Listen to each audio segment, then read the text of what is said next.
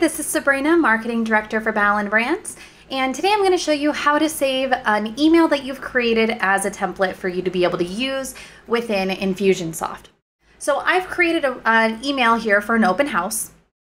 I really like it. I want to be able to use it for future open houses that I have. So what I'm going to go ahead and do now that I've created it is go in the upper right corner and click where it says Save as Template. Then I'm going to go ahead and name it. So I'm going to name this Open House and hit Save.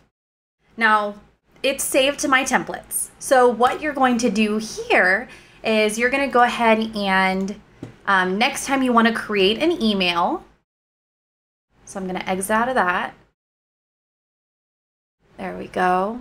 So next time you go to create an email, you can go right over to this My Template section.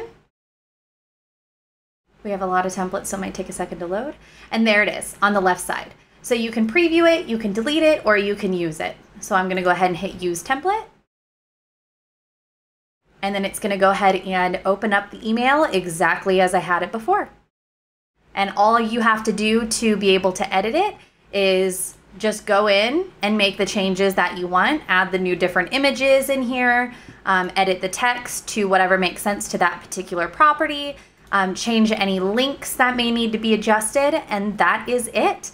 Um, so that is how to save and utilize your templates. If you have any questions, you can reach us at team at ballenbrands.com or give us a call at 702 917 0755.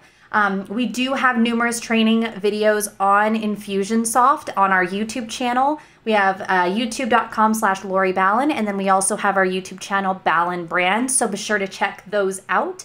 We are also um, Infusionsoft marketing provider, so if you um, have Infusionsoft, and you need some help, or if you're interested in Infusionsoft, be sure to reach out to us.